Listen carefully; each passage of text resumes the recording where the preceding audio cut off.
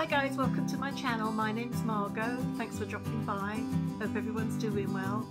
Well today um, I paid a visit to my local Cracker Barrel, the old country store that they have there. Um, I want to check out what new uh, spring and Easter things they have for 2023. So um, I did a video there and I'd like to share it with you too if you'd like to have a look too, see what's new there, their country store. So anyway guys, um, and also if you're not subscribed to my channel, I'd love it if you would subscribe.